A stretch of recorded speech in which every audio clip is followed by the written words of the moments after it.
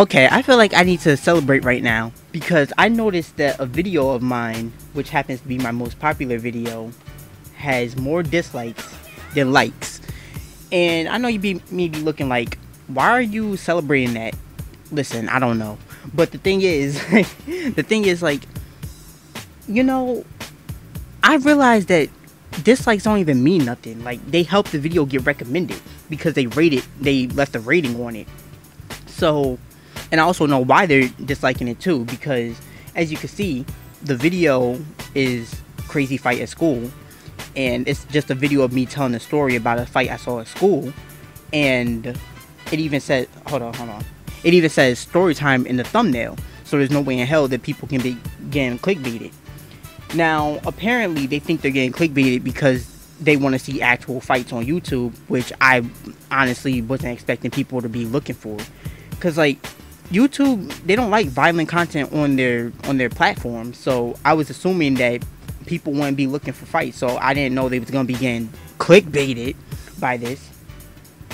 And even a month, uh, like not even a month ago, a couple months ago, somebody left a comment talking about some clickbait. Imagine.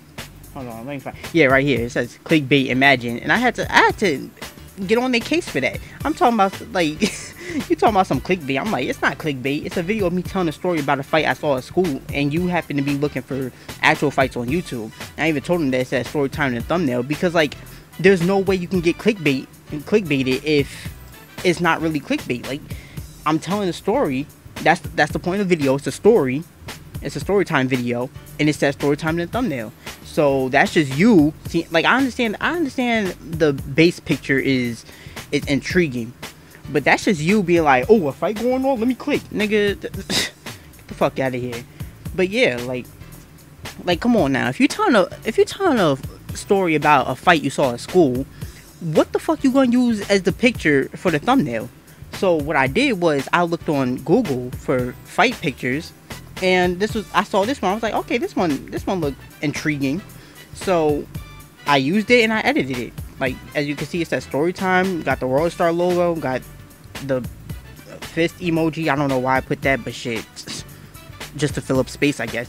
And I put the principal guy involved because the principal did get involved. Now, to be honest, that might be the only clickbait because it wasn't the principal, it was the vice principal. But either way, the fucking a staff member got involved. But um, yeah, like I need to celebrate because these dumbasses over here getting mad at me because they think they got clickbaited and shit.